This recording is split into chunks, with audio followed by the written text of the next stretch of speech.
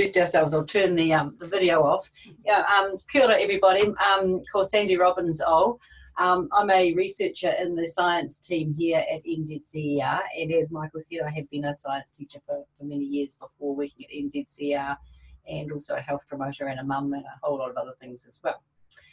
And my colleague. colleague, Um, kia ora, I'm um, Cora Lorraine Spiller O. Um, I've been here since 2008, um, part of the science team, and we're very thrilled to be bringing you what we have been doing in national monitoring. Lovely. So we are going to tell you a little bit of a story about national monitoring tonight. Um, and to, can you all see the first slide of our, our this is National NMSSA Science Insights. Is that what you're all seeing? Not yet. It's not sharing. So I Am I not know. sharing? I don't know what happened. It's not. Oh. It's not. It's not actually sharing right now. Okay. Right.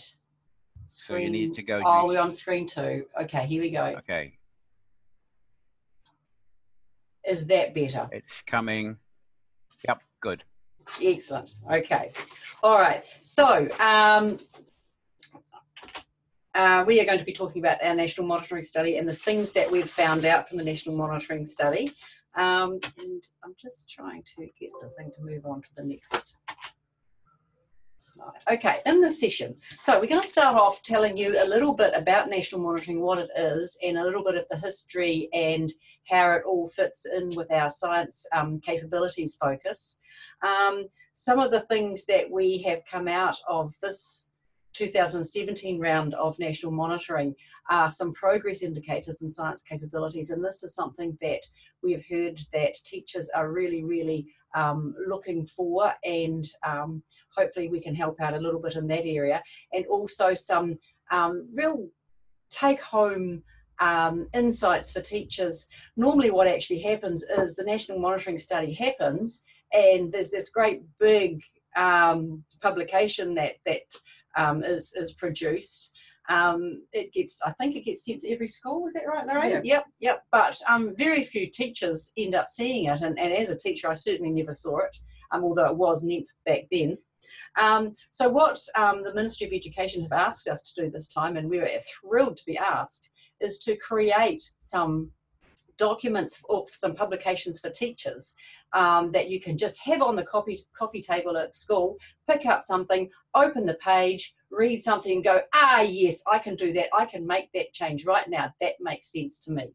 So um, we have hopefully um, we've got something here for you that, that you can find useful and, and very, very helpful in your science lessons. So um, kicking off, what is, what is the National Monitoring Study about? Um, it's the National Monitoring Study of Student Achievement. Um, it provides a snapshot of student achievement. It's a collaboration between the Ministry of Education, um, NZCER and the um, Education Assessment Research Unit at Otago University. National monitoring replaced the old NEMP in 2012. Um, and what it does is it assesses students in year um, four and year eight. Um, we have a cycle each year, um, and um, in September there's there's always testing on one or two subjects. So science was the first off the block with health and PE in 2012, and we've actually had our second round of um, science in 2017. Um, and so now what we've got is we've got data over two time points and we have got data over two year levels. So the developments on NEMP um, are that national monitoring directly seeks to interpret the New Zealand curriculum and that's really, really important and that's why we can give teachers some um, insights into teaching um, and it's linked to the New Zealand curriculum. And the other thing is it's a psychometrically robust assessment. So um, it's it's and and um, we yeah I won't, I won't actually talk much about that because we'll be here all night and I'm sure you don't want to be. But um, basically all data uh, instead of just looking at students raw scores we actually convert student scores onto a, what we call the science capability scale and what that allows us to do is compare students from year four to year eight and also compare students in year four from one round to the next. So we can get some really, really useful data. Um, in 2017, we um, changed what we were asking a little bit. We actually decided to focus specifically on science capabilities. So every single question um, was written to a science capability. We used some of the 2012 questions, but um, and they and that wasn't specifically written for the science capability, but we were able to backfill um, science capabilities onto most of those questions. There are some um, uh, purely knowledge questions that remain, and we've kept them there because what we wanted to do was have a look to see how knowledge um, and the science capabilities work, and we've found out that they develop together. So if you're um, on science capabilities, you can't help but focusing on knowledge as well, and vice versa. Um, and the last thing about the science assessment is that it assesses science in two ways. The first way is students do what we call a group assessment task, and that is um, booklets of um, pen and paper assessments where students answer short questions or multi-choice questions. Um, and we um, ask all of the schools that take part, and of which there are about 200, uh, 100 schools each year. And so each school provides 25, a class lot of students um, for that assessment. And then we assess using in-depth tasks where we take smaller groups of students and we have a teacher assessor who asks the students to do some kind of experiment and sits with them and asks them questions along the way and these questions that we've, we've written um, so and they're just designed to probe students thinking in a little bit more depth and also to get them talking because what we also know is that students can talk about science in a much more um, varied way and much more deeply than if they're just writing it, particularly year four students. So that's a little bit about the national monitoring and Lorraine's now going to tell you about how we um, and why we decided to um, do our assessment based on the science capabilities. Um, so what's on the screen now is a diagram that we've created that um, encompasses for us the whole of the science learning area. Um, it starts at the top with the nature of science because that's the overarching strand and at the bottom are the contextual strands, um, the living world, planet Earth, beyond, the physical world and the material world. Now when we were teaching, Sandy and I in, um, at college, um, we worked with the living world, we worked with the contextual strands, um, and there were some overlapping strands in there of skills. But the content base of the, of the contextual strands was where most of our work was. Now we, we finally worked out what the nature of science was and how it links to um, those contextual strands. And so we've drawn it in this diagram. So the nature of science at the very top is made up of four substrands, understanding about science, investigating in science, communicating in science, and participating and contributing. And between that nature of science and the contextual strands are the science capabilities. So they link those two areas together. Um, you probably already know this, but this kind of this diagram seems to work a lot for teachers who um, need it as, as a visual form. So if I just go through one of those um, areas, if I go to the substrand about understanding about science, um, this is when the focus is on scientists' work and the capabilities that scientists need to do their work are that they gather and interpret data, they use evidence and they critique evidence. So what we're doing with the science capabilities really is unpacking what that nature of science um, substrand looks like.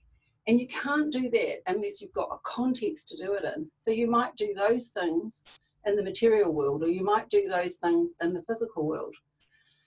On top of that, we have a connection with the science capabilities to the key competencies.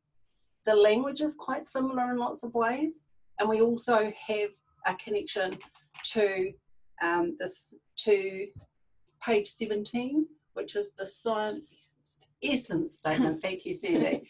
Okay, so it talks about having critically informed and responsible citizens. And when you've got this big picture and all these things working together, as we will show you in some of the items that we've been working through, it, it produces these, we believe it produces these critically informed and responsible citizens. Back to Sandy. Okay, so how did um, the students in 2017 do in the science capabilities assessment? So what we have here is um, um, two box and whiskers plots, one for year four, um, one for year eight, um, and on the scale, the, the science capabilities scale for national monitoring. So like I said before, every single question gets a position on the scale and every single student also gets a position on the scale. And so what we can do is we can work out the mean. So here's the mean for year four, and this is the mean for year eight. Um, this is the upper quartile and the lower quartile for year four, um, lower quartile and upper quartile for year eight. Um, and what we've drawn on here is where we would expect students to achieve at the different curriculum levels. So if a student's in an emerging curriculum level one and two, we would expect them to be working in this area of the scale. Developed level one and two in this area of the scale. Now this is year four. Um, emerging level three and four in this area and developed level three and four. Now, so the year fours are doing fine. They are achieving where they would be expected to achieve, or at the curriculum level that they would be expected to be achieving at. What we found with the year eights is, is they're actually not quite achieving at the level, the curriculum level that we would be expecting. They're supposed to be achieving up in here. So 20% of year, year eights are achieving up in this area here. Um, and um, the other thing that we found is the distribution between year four and year eight is, is very similar to 2012.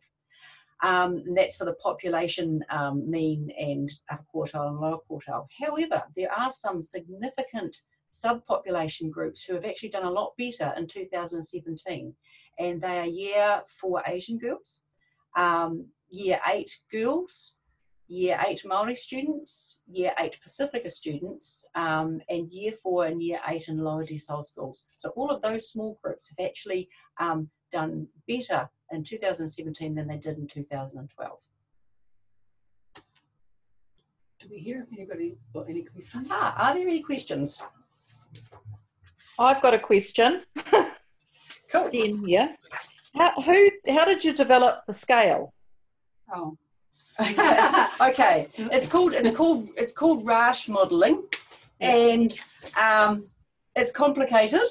Um, basically, the It, it's in the it's in the it's in the report. yes. Yeah. Um, and I, I- I wonder if we can come back to that because Oh, that's all right. Yes, I'm just fascinated. I know, but it will take Sandy a long time to explain it.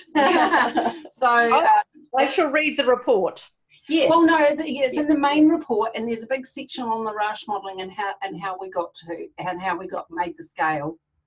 Okay, So for, for all NZCER's PAT tests, we also use the same Rasch modelling. And um, do are you familiar with the PAT tests? Yes, I am. Yeah. So what what um, what can happen is a student can do um, test one one year and test three the next year, and you can directly compare the two scale scores. Um, and you can compare students within a class. You can Yeah. compare their scale scores, and they might have all done different tests. It's because every single question um, gets put on on the scale, and it's it's, it's we we create the scale um, when we do the um, trialing the questions, um, Yeah. and also from one um, science round to the next, we actually um, create the, the, the next science round by taking questions from the previous one, looking at the scale score of those, and fitting the new questions in um, in between, um, Yes. depending on how the students did. Does that Yes. help? That is helpful. Thank you very much. Great. Okay, so this picture that you've got now in front of you is um, one of the reports that um, we produced. Um, what we wanted, like I said before, is to produce a useful report for teachers, um, something that's colourful and concise, and you can take it away and try it in your five minutes after you go back to your classroom after morning tea time. It's called, this is called the Insights Report. There are four insights which we'll talk about shortly. Um, and this report shows you examples of the sorts of items we used, and we also show you some typical student responses, um, and we discuss what those student what those responses mean, um, and what teachers can do to help students move up to the next level. Um, right through this report, there are links to the Assessment Resource Bank. Um, so teachers can just click on the ARB um, and, and go to the ARB and then the students can practice what we're talking about. Um, and you can download um, the, the report from the National Monitoring um, website. Now, so don't go away. Uh, you have stayed to stay till the end of this now because we're going to give you the website at the very end. okay, so am I still on, Lorraine? I think you are. Oh, I am. Okay. So this first report that we produced has um, is, is built around four practical insights. So the first, and I'm going to talk about this shortly, is measurement is really important to adding meaning, and this is something that um, you can you can um, teach your students immediately. The second is um, using evidence to support a position is, is a really important skill for students to develop. Um, explaining like a scientist is about precision and clarity and we'll talk a little bit about what what that means but we won't give you examples of this the last two and lorraine's going to talk about how um, important evidence is built up from systematic exploration These are all um, these are all tagged to specific items, but of course there's lots and lots of other insights um, from the items that we did. So these are just the four that, that we've pulled out to put into the booklet. Um, but they're all important ones, like Sandy said. Okay, so the first one, measurement adds meaning. So this is a question that we've used in the last two rounds. So it's a graph of the river flow on, I think it's the Rangitikei River, um, over 18 days. And um, the students were asked to look at the graph. It's year eight students, so we wouldn't expect year four students to be able to do this, but we think that year eight students should be able to read a graph, um, a line graph like this. But it's a bit of a tricky one because it actually shows river flow.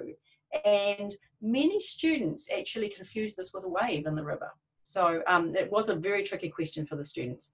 Anyway, what we wanted to know was what was the approximate water flow on the first Sunday? So what do you think it was? Does anyone want to care to answer?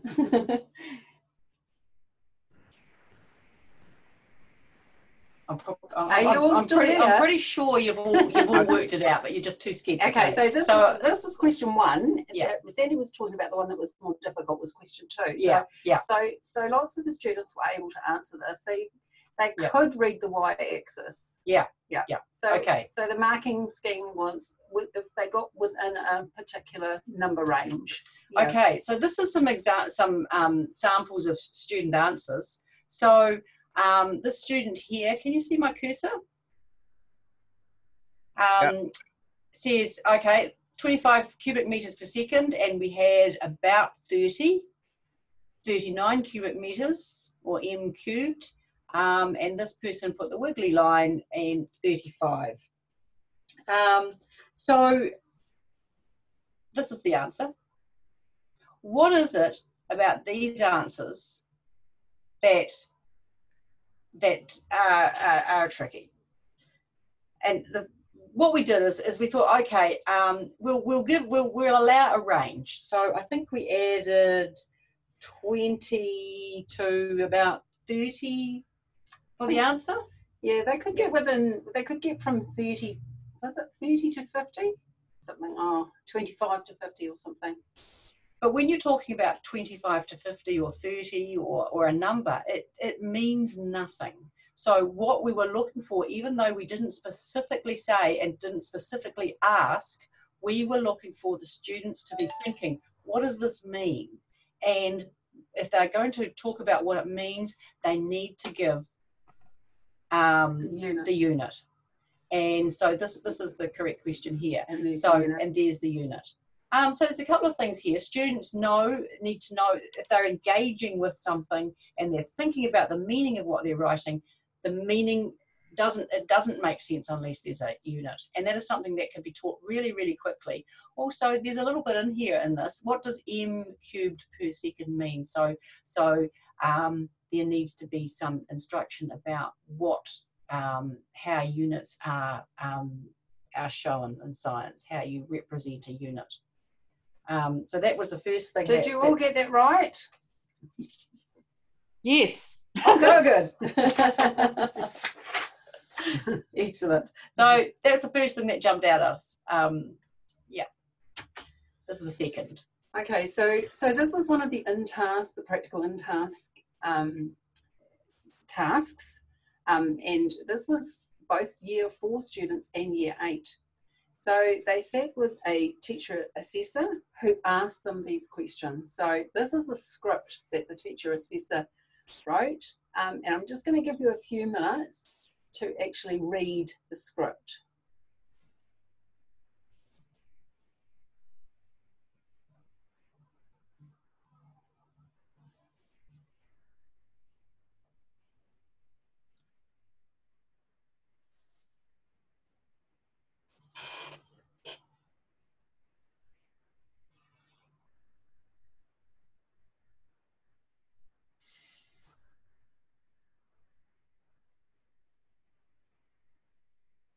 Okay, have you had enough time?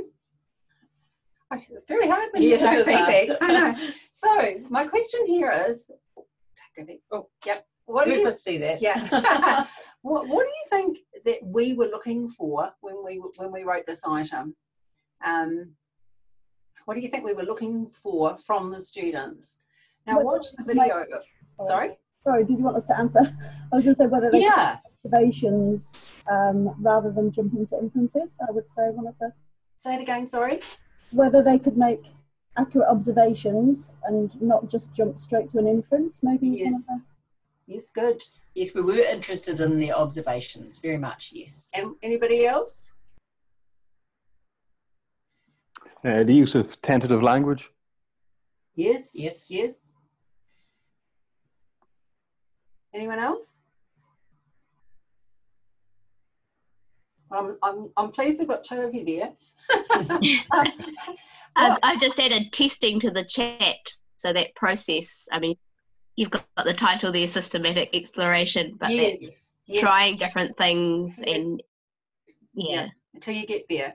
Okay, so you know what um, what what happened with this is that oh, they did this on video, and I went through the videos, you know, or lots and lots and lots of videos of the students doing this. So um, it, it was it was very interesting. The year eight students rattled the container, looked in the other container, and saw what different items were there, and said, "It's a pen." and they just put it aside. The year fours also said it was a pen, but when the, they were questioned, they would try various things. Now, we didn't open the sealed container, and it kind of is a little bit of um, indicative of what's happening with year eight students that they're looking for an answer. Okay, so if we if we look at what we were looking for, systematic exploration, we, we were wanting the students to eliminate alternatives, plausible alternatives. We wanted them to try different things out and test them against the, uh, you know, the other container. Mm. To, and then we wanted them to actually say things like, "I can't be that because it's, you know, maybe because the sound isn't isn't right. It sounds a bit, you know, thuddy. Like if it was a, a if it was an eraser, or if it was a marble, it, it's, it, I can hear it rolling, it's got a different kind of a sound. We were wanting them to start building evidence, even when they were sure, even when they knew that they thought, sort of thought it was a, um, a biro. Um, and we wanted them to, to give an explanation about why the, those alternatives were not correct, because it doesn't sound right, it sounds a bit thuddy, it, um, it's rolling, it's sliding, or all those kind of things. So, what my next question is to get students to do that instead of just going straight to an answer, what kind of questions in the script led the students to, to try that?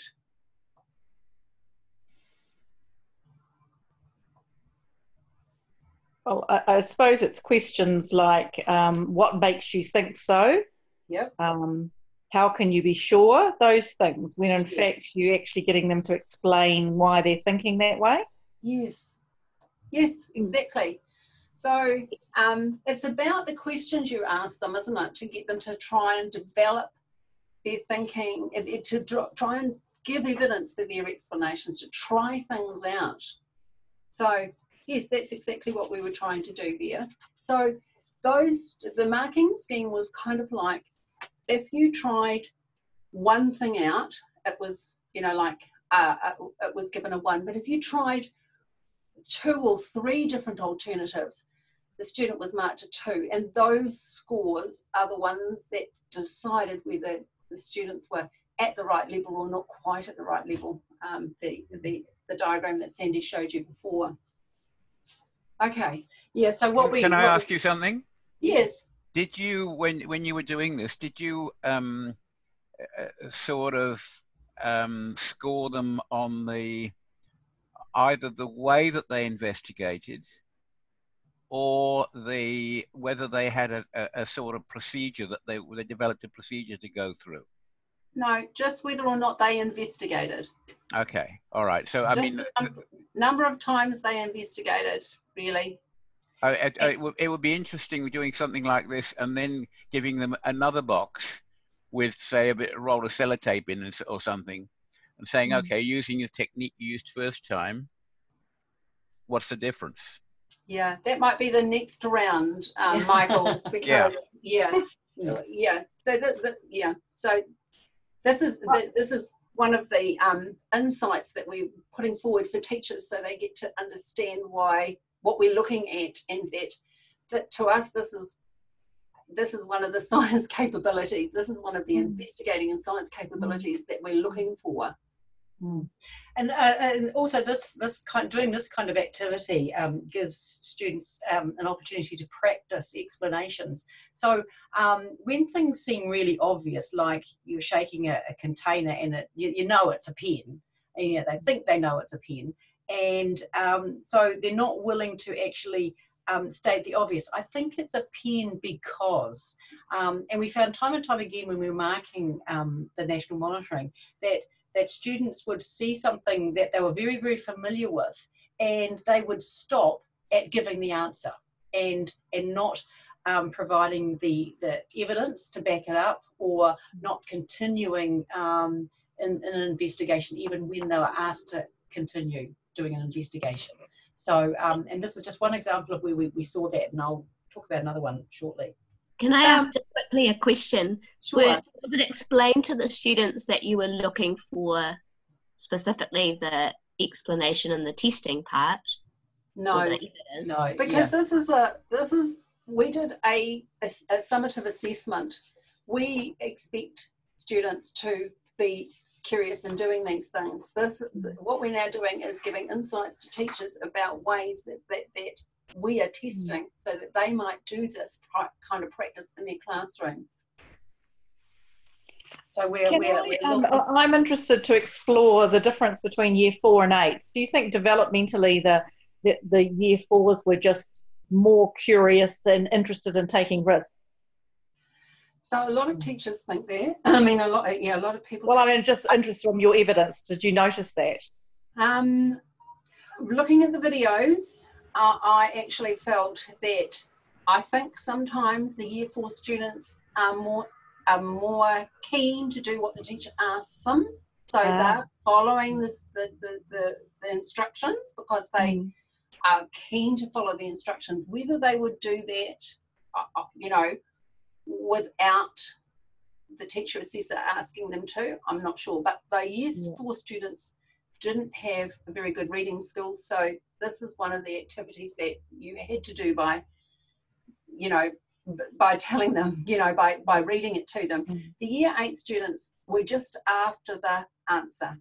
Yeah. Are you sure? Yes, I'm sure. What makes you sure? I just know, you know, Yeah, and Yeah, yeah. they, they were determined and they didn't see any point in going any further, Mm. because we think that that they're used to going for an answer. going for the answer. So the Mm. teacher, so so um, you know, if they give the answer, yes, you're right.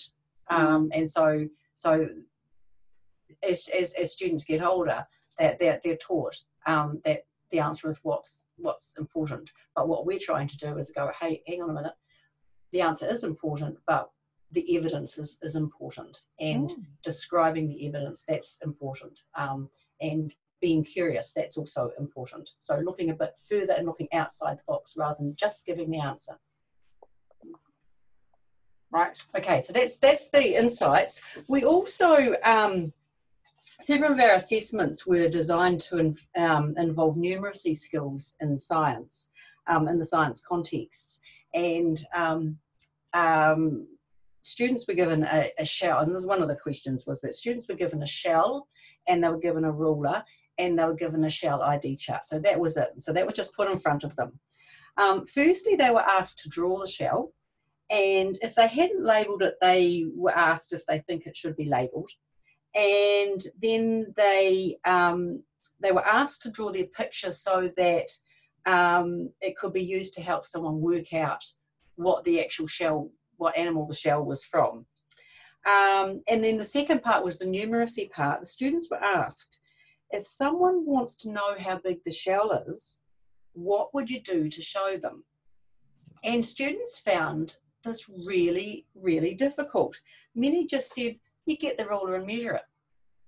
And, and what we were looking for was some kind of an explanation. We wanted to say what they were going to measure. We wanted them to explain how, we wanted them to, to, to show some idea of the size of their shell. Um, and and it, it was another one of these obvious things. Get a ruler. Everyone knows that a ruler is for measuring, so just use the ruler. Um, but we were looking for more than that. Um, and Or they would say things like it's it's the normal size. Yeah, yeah. yeah. yeah.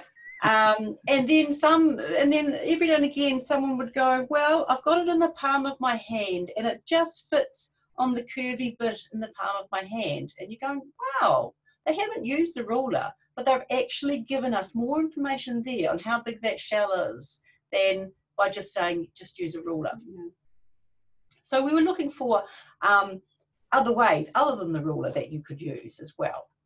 So what do we find? We um, found that students didn't have a, a way of measuring. They, um, they, they, they, weren't prepared to, to think up ways and think of something interesting um, out, out, of, out of the ordinary. And they gave the name of the tool, that is the ruler, but they didn't describe how or what the measurement was. So that didn't seem to us that they didn't appreciate that this measurement is, is, is part of, of the science. Sandy and I were talking about that before, and I think it's similar to what we discovered. Um, we went back, we were talking about a little while ago. I think the students are thinking about they're talking to their you know to their teacher. You know what a ruler is, so I don't have to tell you that you measure it with a ruler, or you know, or how you measure it with a ruler. So they just say use the ruler. Um, so again, it's that that it's that unpacking of what they need to do to give a proper explanation. So that's that's all we're going to say about numeracy. There's a lot more about that in, in the um, publication as well. Mm. So we'll just pop on to literacy. And again, I'm just going to gloss through this really, really quickly because we've actually gone now for 40 minutes. So um, we need to keep tracking along. So um, we also designed to um, our tests to um, assess literacy. It's reading and writing in the science context as well. We wanted to know if students knew the conventions of communicating in a science way um, to talk like a scientist. Um, or if they used every everyday language um, and and everyday language features.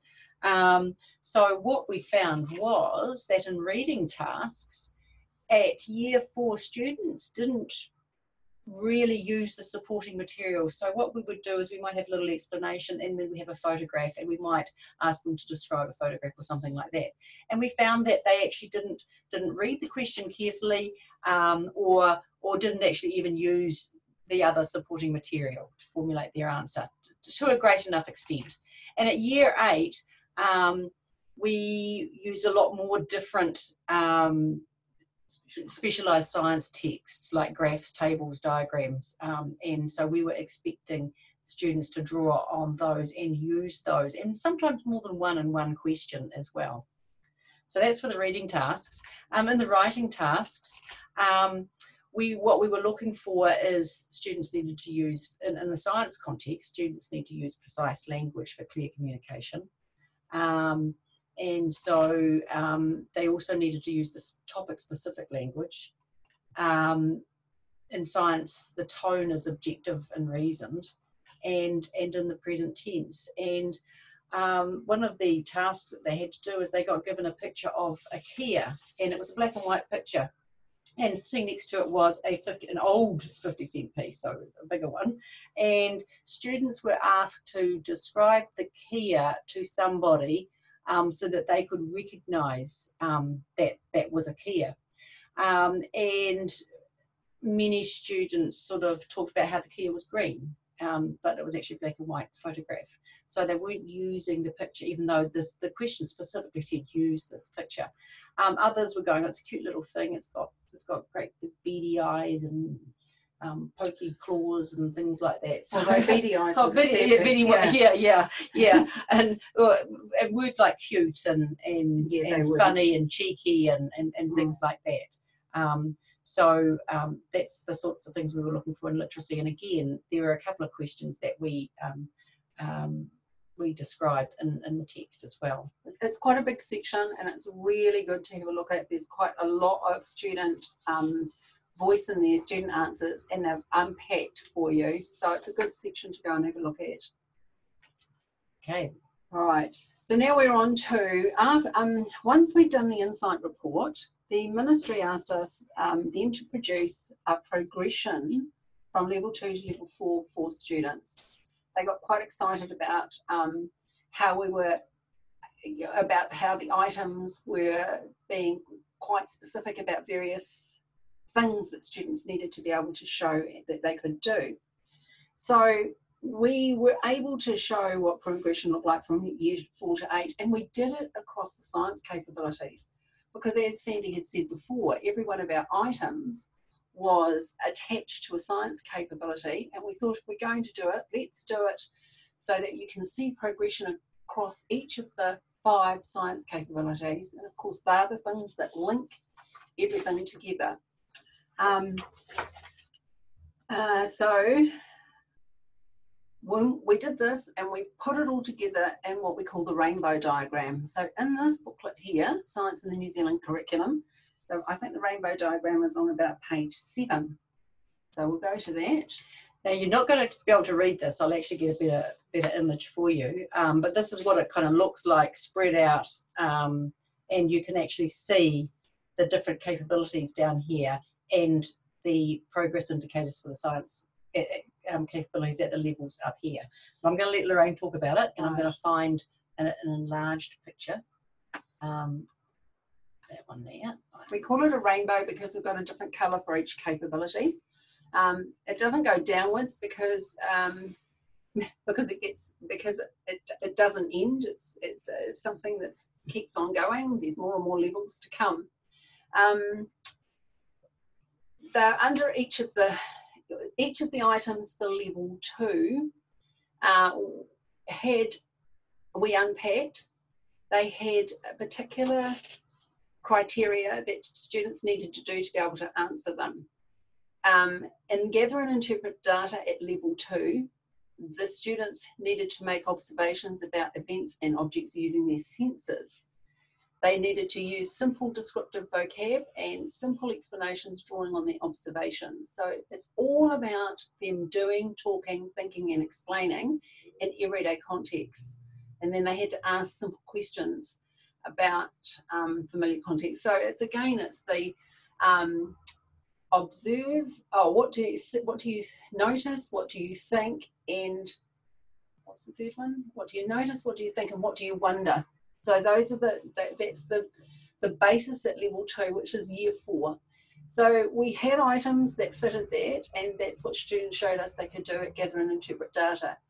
At use evidence, they were making claims about things, but they weren't backing up their claims with evidence, even with the in-depth tasks when they were asked questions by by by the teacher assessor. So we didn't get anything for them in critique evidence. Can keep rolling down.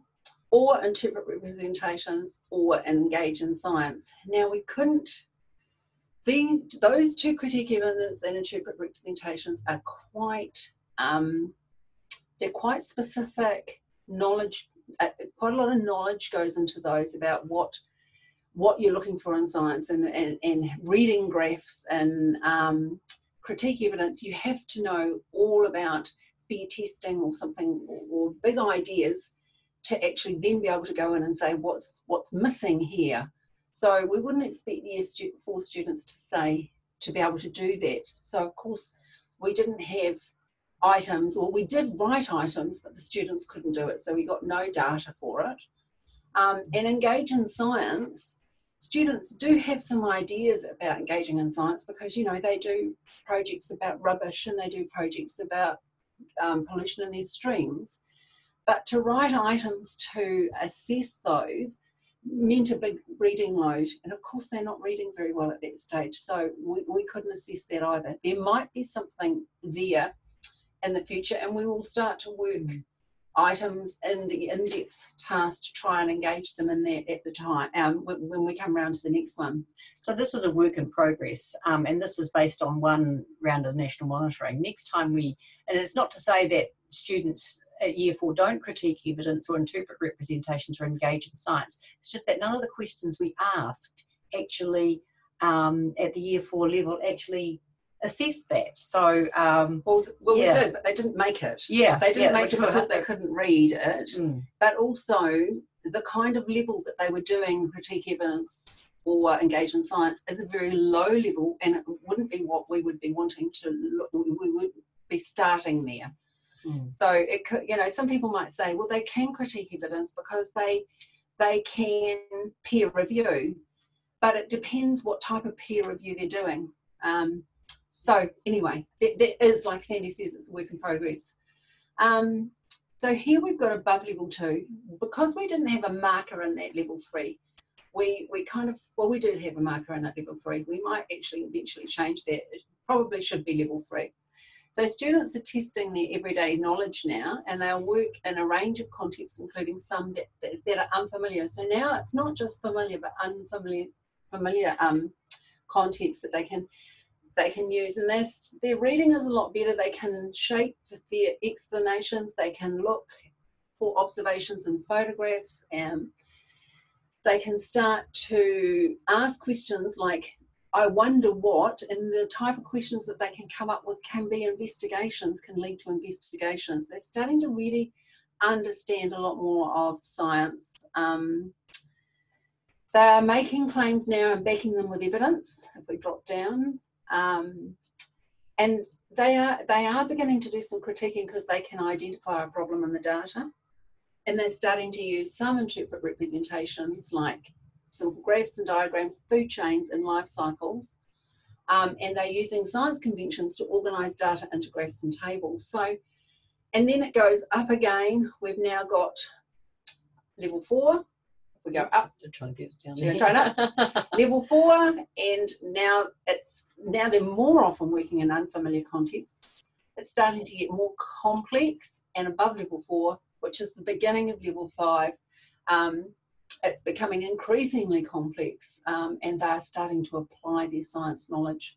At level four, they're building science knowledge. At level above level four, when they get into level five, they've got enough to actually start applying it across different um, not context, but across diff- uh, transferring their knowledge ac- ac- across different contexts.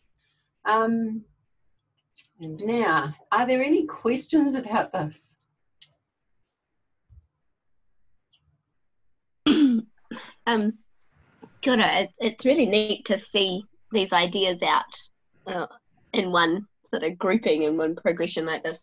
Um, I guess having looked at it very briefly, my question was how do we make sure teachers that get this don't think that students don't need to be exposed to um, like the last or level two students don't need to be exposed to the last three capabilities Um, I think, Good I- I- question. yeah, I think, I, I- yeah, um, I think they needed to have attended some of our workshops so that they can, they can hear the information.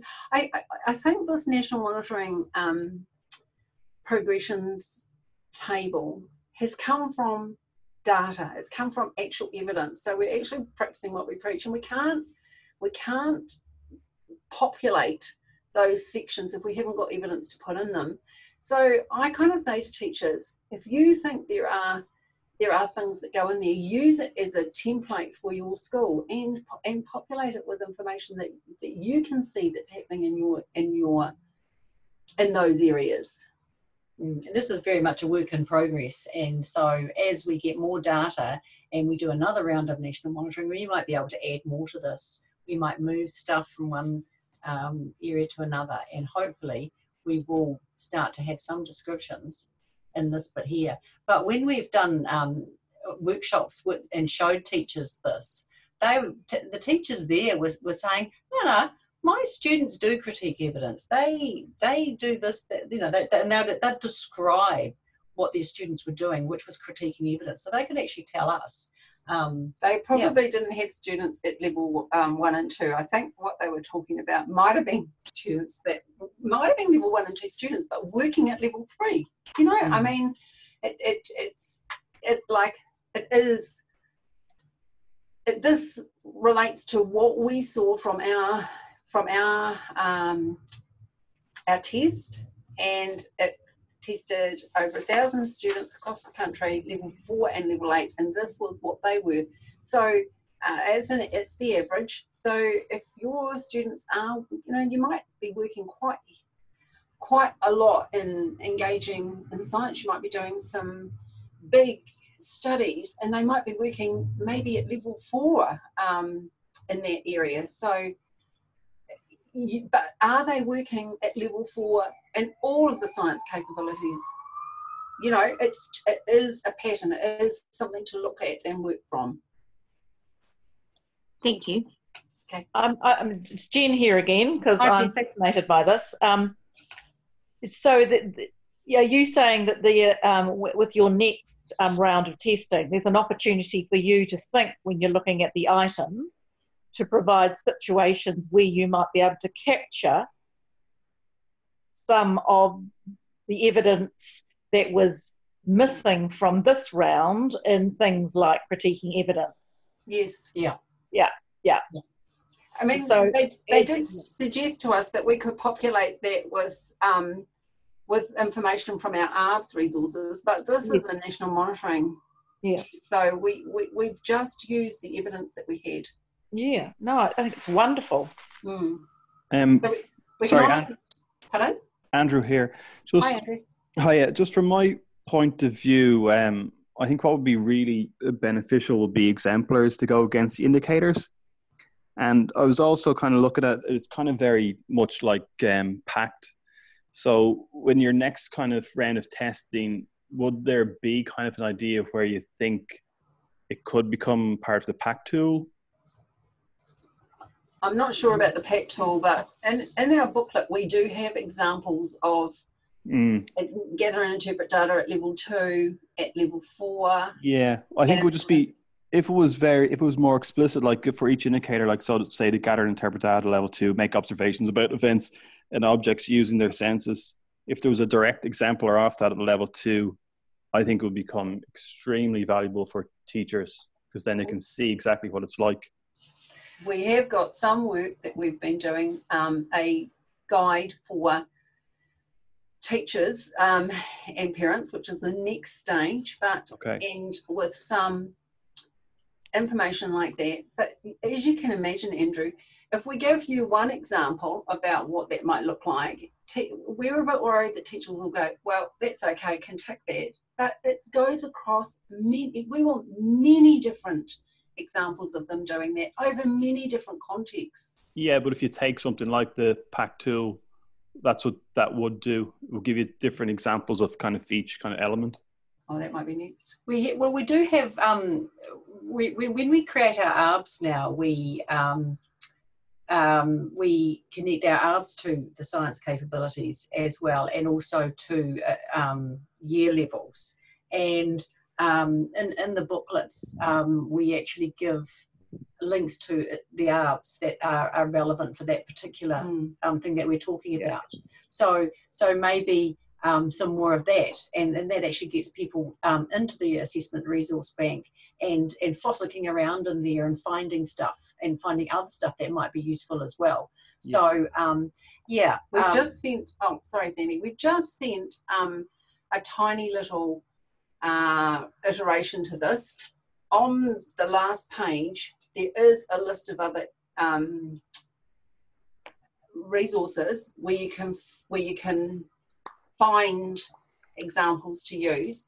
But we're Yeah. going to put two links, one to the ARBS and one to the TKI site on the rainbow diagram so that teachers, if they're looking for examples for use and interpret data, they can go to the ARBS. On that site, it will say, here's, there's a table with each of the each of the science capabilities and level one and two, level three, level four, level five, and you and the number of um, items that are there, you just click on the number and you at the site where there's lots of different um, examples. There's lots of different items that that do that that show you. So they could be your exemplars. That, would- that would work really well. wouldn't it? Well, it's a start. It's, Mm. it's a start, Andrew. Yeah. Yeah. Cool. Thanks. So Okay. I'm going to go back to our um, our slideshow now. Yeah. So we're on to the And Last this is one? the this is the last okay. last story. Yeah. So, as a fin- finale, we wanted to show you that science is also about knowledge. So, you know, students need to know stuff. This is a diagram um, that was given to no, this is a diagram that year eight students um, drew. They had a written story about the huhu beetle, and they were asked to draw a life cycle diagram from that story. And two, these these are examples from two students. So I want you to have a really good look at those two life cycle drawings and can you decide which of those two has done the best, which student has done the best job? Now they, have, they aren't named, but you can say the one, can you say the one on the left or the one on the right? yeah. Yeah. Um, Do It was, Yusefa was on the left and Wang was on the right.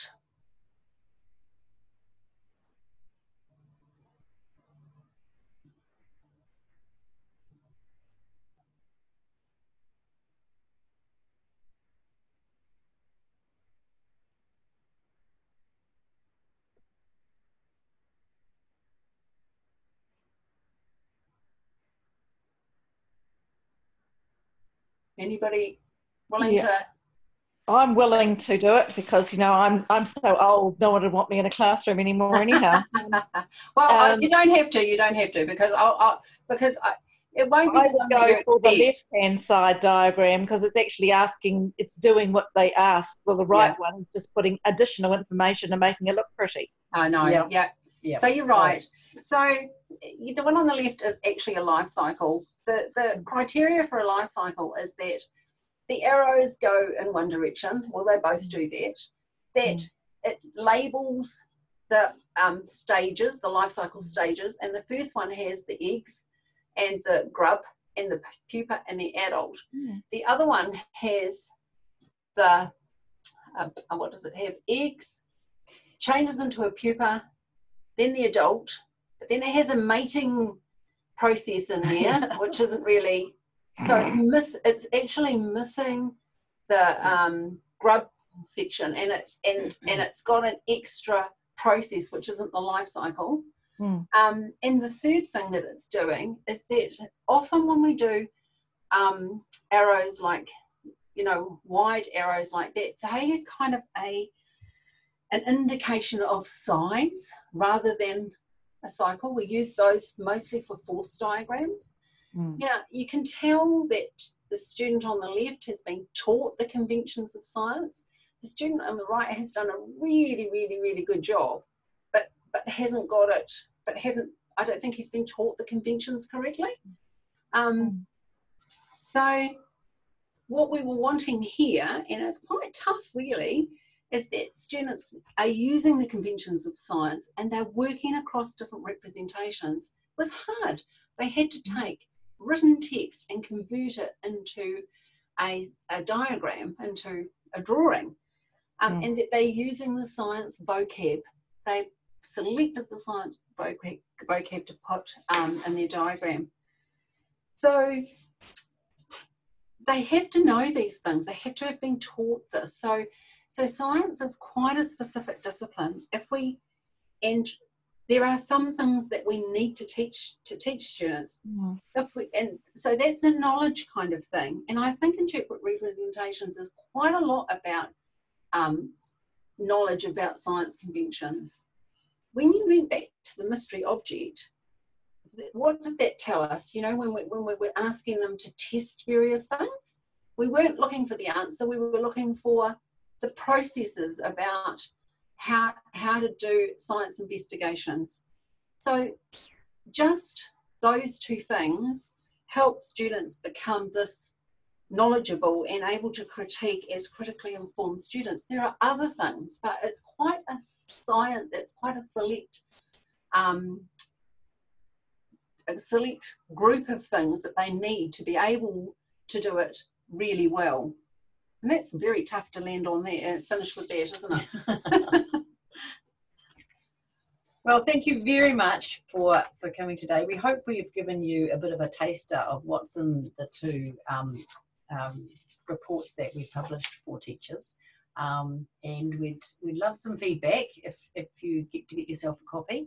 Um, if you want the first one, the Insights report, you can get that by downloading it from the National Monitoring site. Um, and the progress report is, is on Science Online.